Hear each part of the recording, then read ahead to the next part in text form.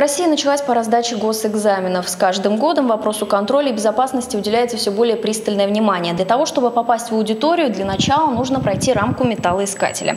После сдать вещи в гардероб и еще раз пройти металлоискатель на наличие телефонов и запрещенных вещей. За ходом сдачи ЕГЭ ведется онлайн-наблюдение. Каждая аудитория оснащена двумя камерами. Также в места проведения экзаменов выезжают инспекторы Обрнадзора. К столь строгим мерам все относятся по-разному. Перебор все равно чувствуется типа шпаргалку бумажную принести, это все равно как бы никаких проблем в этом не будет. Но открытая дверь в туалете это так не очень хорошо, я думаю. Я, конечно, понимаю, что тут еще и безопасность задействована, поэтому привыкаемое все это. Да, несколько смущает, потому что это как-то какая-то паранойя выглядит больше со стороны. Если бы не было проверки, списывал? Нет. А какой смысл?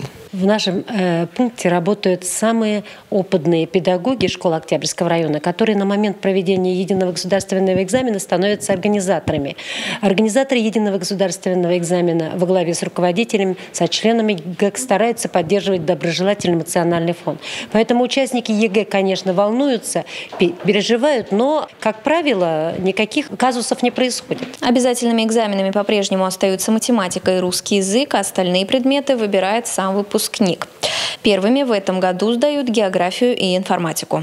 Участников очень много, особенно по информатике. Для информатики у нас приготовлено 10 аудиторий, в каждой аудитории 15 участников. Для географии 3 аудитории всего, там тоже по 15 участников. Добавим, что в этом году в Башкирии ЕГЭ сдают 20 тысяч человек. Для них распахнут свои двери всего 98 пунктов сдачи. Следующим экзаменом станет базовая математика. Он пройдет уже 30 мая.